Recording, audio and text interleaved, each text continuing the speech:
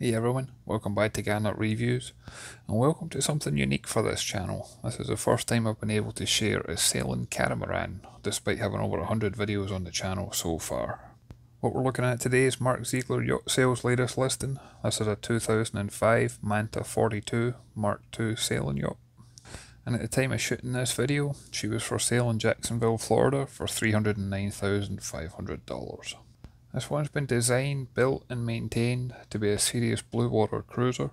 The boat's name is Adventures of a Lifetime, and that's exactly what this one can offer. Being that she is a catamaran, she's got a length overall of 42 feet, but she's got a beam of 21 feet, and she's got a maximum draft of just under 4 feet. That beam gives you great stability, as well as offering a ton of space on board for full liveaboard accommodation. And you'll notice as I walk down this pontoon, she's got a pretty high freeboard. The helm and cockpit is pretty high up as well. So that means it's going to be a very dry boat for everybody on board. This one's all about relaxation, cruising and chasing that horizon. And I'll show you in more detail when we get on board, but I love the fact that this one's also being equipped where you could sail this single-handed if you wanted. You certainly don't need a full complement of crew that you'd normally associate with an ocean-going yacht. I like that this one's got guardrails around the entire yacht. But you can see it's also got some sort of mesh netting, for want of a better word. And that helps stop anything or anyone going overboard, especially when you're offshore. Stepping aboard is easily done from the steps that are built into the stern on both hulls.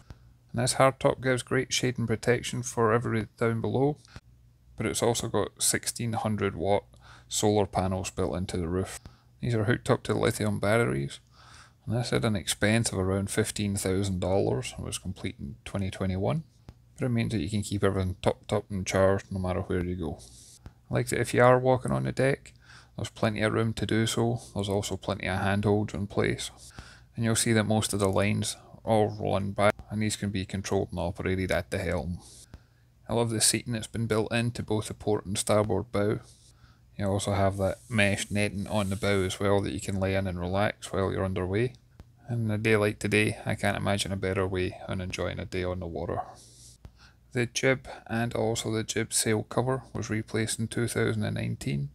And at that time they also replaced the halyards for both the jib and the mainsail. This has been maintained regardless of cost, and it actually just arrived from Mexico into Jacksonville, Florida when it was put on the market. Fill the tanks, fill the galley, and this one's ready to go again. I like to have got a number of storage lockers built into the bow section. This one here is actually coupled up to the anchor locker. This is a Maxwell windlass and it does have foot controls. And this is a new Mantus anchor, it was replaced last year.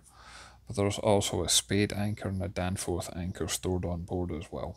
I like the louver effect that's over the windows. There's no large windows on this, so is that as an ocean going yacht, if it does take a large wave over the bow, then that way you get extra protection to make sure it doesn't have any damage and potential flooding. And as we make our way back to the cockpit, when last did you see a 42 foot yacht that you could probably get about 10 adults in the cockpit in comfort?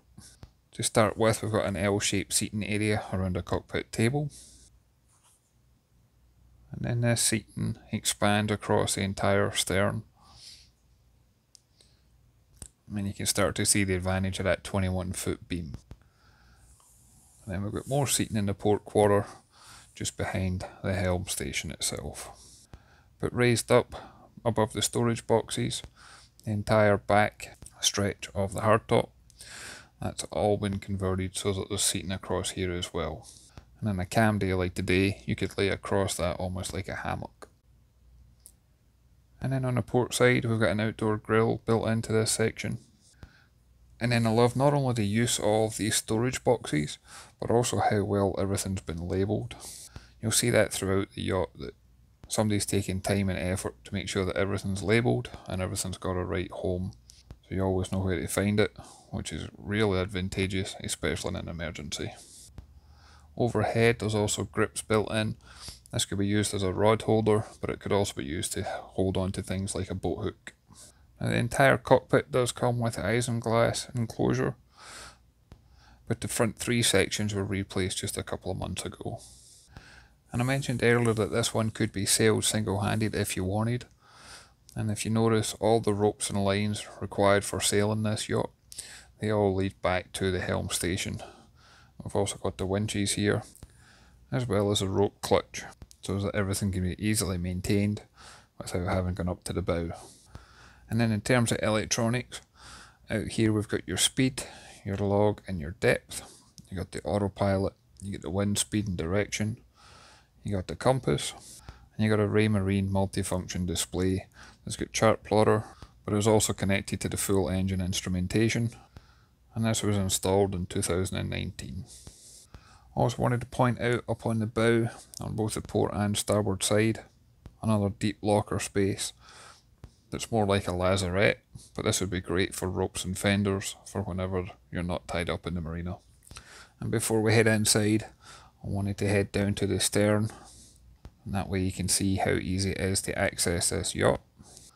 And you can see we've got the new Corinthian deck carpet in the cockpit and in the transom. And on our starboard hull we've got a boarding ladder built in to the edge of the stern. Uh, and between the hulls, you can see over the stern, we also have the rigid inflatable tender. This has got a 20 horse, 4 stroke outboard and has been serviced and maintained on a regular basis. You'll also note in several locations on the stern, there's rod holders built in for both fishing and for trawling as well.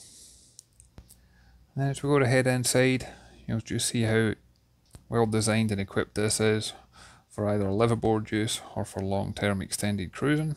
To begin with, I was impressed with the door that leads in. I don't know if that's technically a watertight door, but it's certainly very strong and secure. But you've also got the option of using a mesh door if you want some fresh air but don't want to deal with all the bugs that you might have. Stepping inside, we've got the saloon to starboard, and I love how bright airy it is in here. You can see those large windows on the bow with that louver effect that I mentioned earlier. I'm thinking this saloon table's big enough for six or seven adults, if you include the two little stools that's underneath here as well that slide out. Overhead we've got some opening hatches. There's also a lot of artificial light throughout the yacht, and some of these have got red light for night sailing. On the port hand side we've got a navigation station, and there's also a lot of large flat surface area for whenever you're working on the charts. And as I pan round further, you'll see we also have the galley on the port hand side as well. This is one of the best designed galleys I've seen on a yacht of this size. You get a wide range of drawers, lockers and cabinets. You've got a deep sink. You get good worktop space for cooking and preparing meals. You get a three burner gas cooker. This has also got an oven and grill built into it. There's deep storage space and that starboard corner.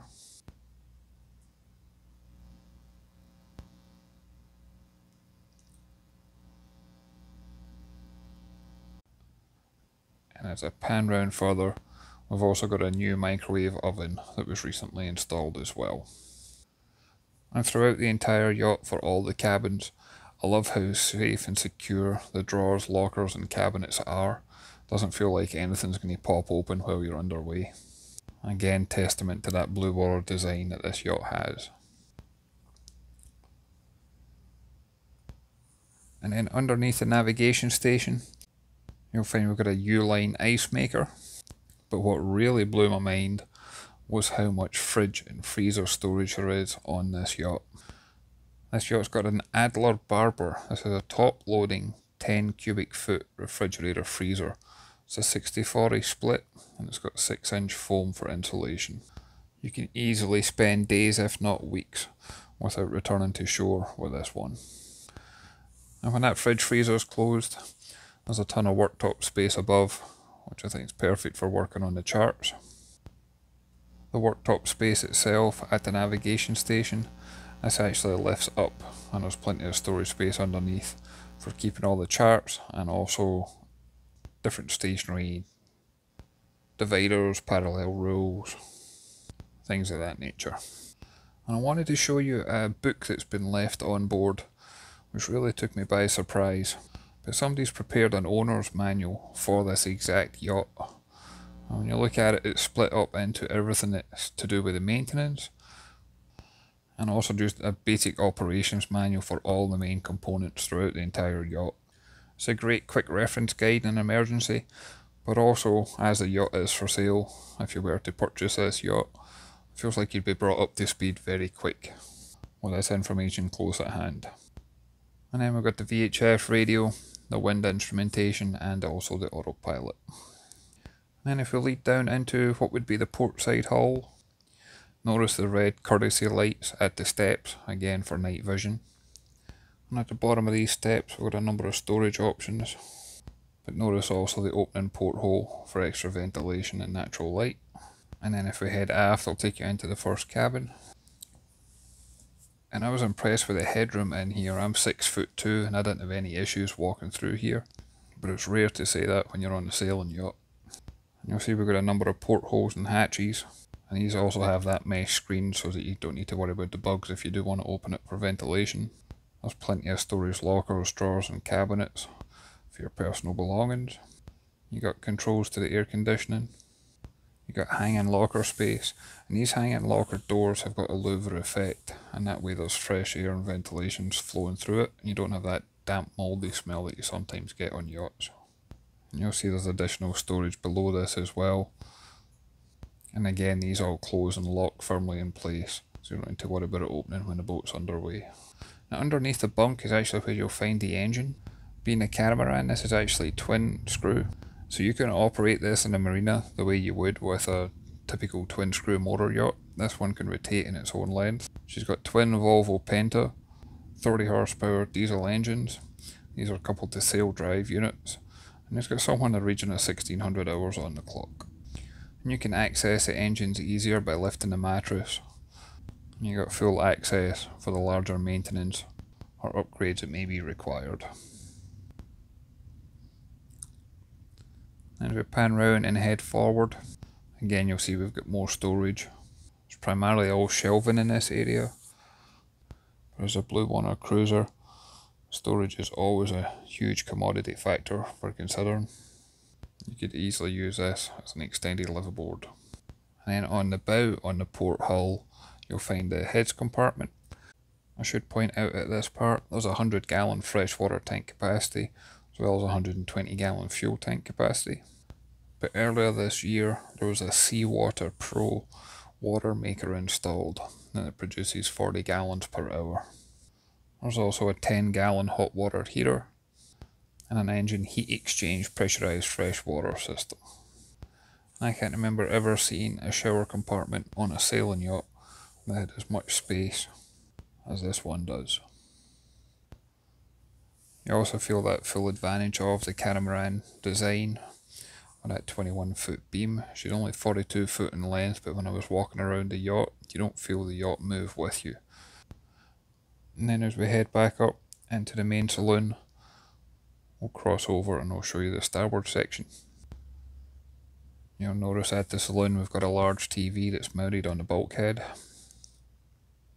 It's also a fusion stereo system overhead, and that's got multiple control units, including one at the helm you got more hanging locker space underneath the TV.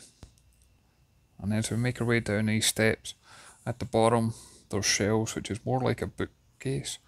And this has got all the service manuals and instrumentation documentation. Well, a lot of the components on board have been recently been upgraded over the past year or two. It's great to see that documentation close at hand. And there's actually a heads compartment before you get to the forward guest cabin just as you're making your way into the starboard bow. And in this cabin, it's actually got full laundry facilities as well. And that tote you see on the bed, I would normally move things like that out of the way when doing these videos, but I wanted to highlight how the owners have got a number of spares close at hand, and it's all clearly labelled what each item is for. As with the other cabins, this one's got the overhead hatch. It's also got artificial light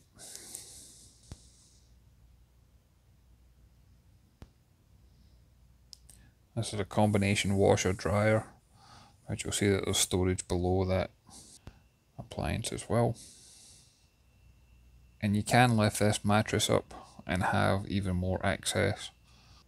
But for the purpose of this video you can see here we've got a number of mechanical components such as the water maker.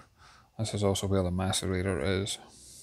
But notice how clean, clear and well labelled everything is in here. And if we turn around and head out this cabin, that's usually then heading to the stern of the starboard hull. So you've got a total of five berths in three cabins with two head compartments. And as with the other hull, underneath here is where you'll find the starboard engine. For day-to-day -day maintenance you get plenty of room through this access hatch, but you can lift the mattress and have an overhead access panel as well. These engines have been serviced and maintained on a regular basis, and the sail drive actually had the seals replaced in May earlier this year. And on this bed is actually the isinglass canopy covers, because that entire cockpit can be sealed in and enclosed if you wanted it to be.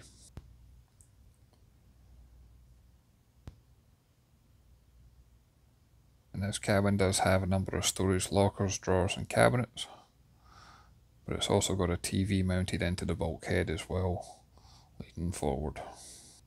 I personally was really impressed with this yacht. I've got over 100 videos on my channel, but this is the first time I've been able to share with you a sailing catamaran.